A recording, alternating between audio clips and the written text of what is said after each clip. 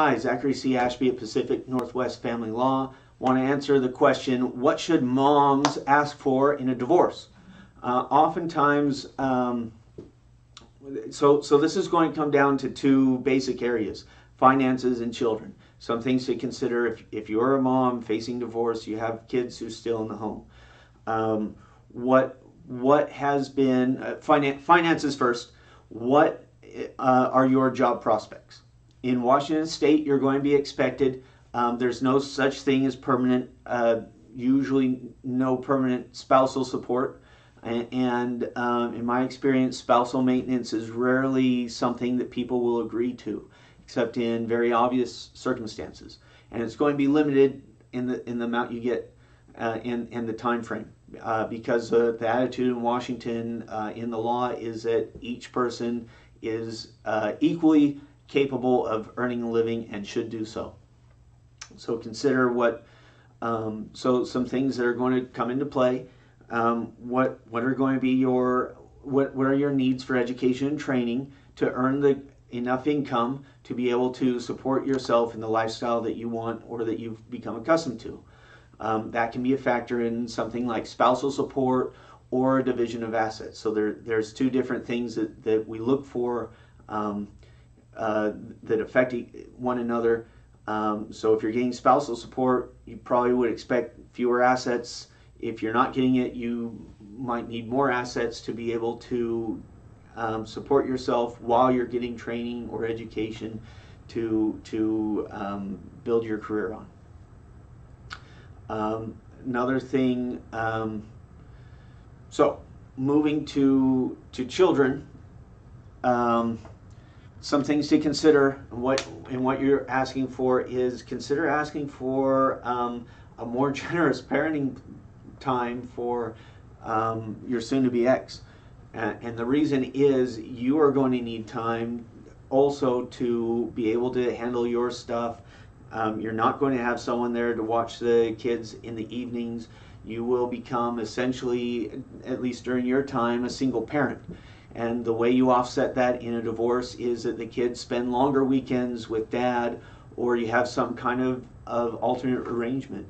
Kids are going to benefit by spending time with dad.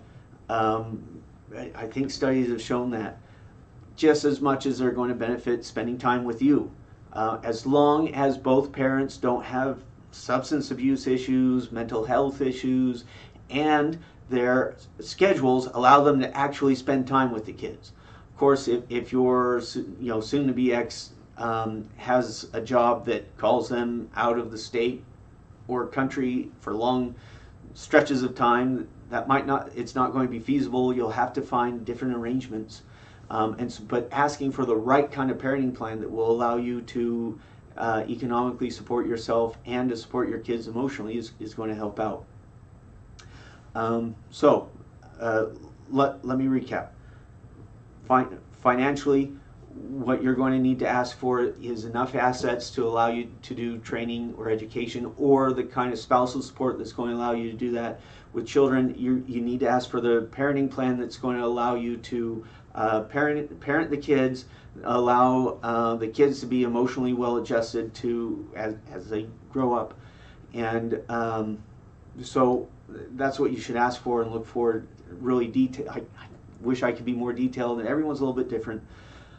Be careful about concrete items. Um, oftentimes, people want the house. But if you don't have the income to be able to pay the mortgage, you do not want the house. It's not going to be good for you or anyone. Better to um, plan on, at the end of the divorce at least, selling the house and having that money in hand so you can maybe get a house that you can't afford or, or otherwise support yourself economically, uh, financially.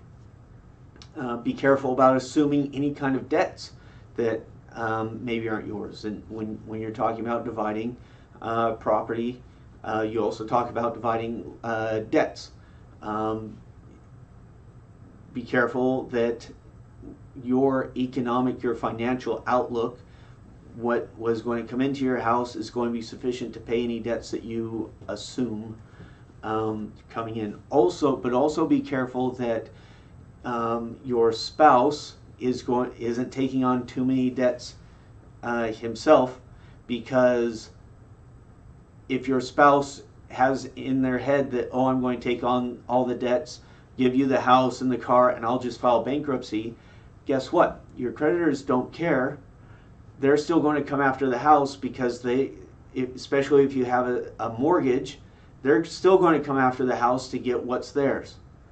He can't escape those debts without um, either you've re- you're able to refinance them or or um, you know so what I'm saying is you'll you'll be swallowed in into his bankruptcy and you'll end up having to file bankruptcy too and maybe end up losing some of those assets that you gave up that you thought you won in the divorce in order to satisfy the bankruptcy court so so you got to be careful there uh, and make sure that any kind of division is actually going to make sense for both. Now, it might make sense that you uh, file bankruptcy jointly um, at the beginning of your divorce to take care of debts um, so that you're left with assets to divide rather than um, risk um, losing things that you might be arguing over.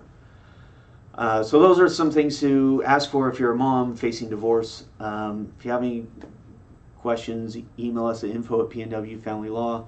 Uh, like us on Facebook and YouTube, and also um, you can call us at 509 866 4111. Thank you.